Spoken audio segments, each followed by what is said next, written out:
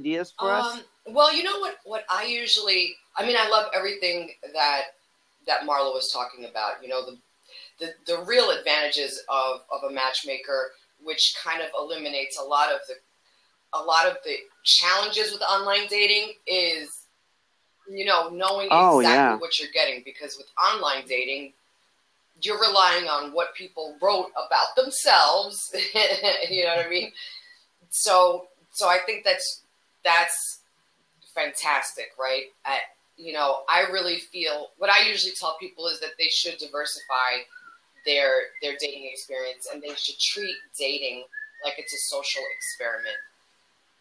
You know really fine tuning what it is that you want versus what you need and you're just collecting data on what what things you really really uh, like about the person not not just superficial but character more about character more about personality more about lifestyle factors more about you know things like that so yeah, I, and so it's love, if you are you.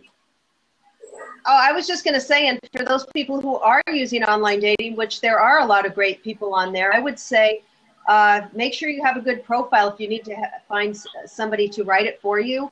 Uh, to help you because a lot of people just tend i'll see women saying you know don't even contact me if you are this that other like they're mad they come across angry yeah. or uh, so you, you want to kind of make little, you know, I'm a writer. You kind of want to make a little story about yourself instead of just listing bullet points. And you can make it fun, short uh, and playful.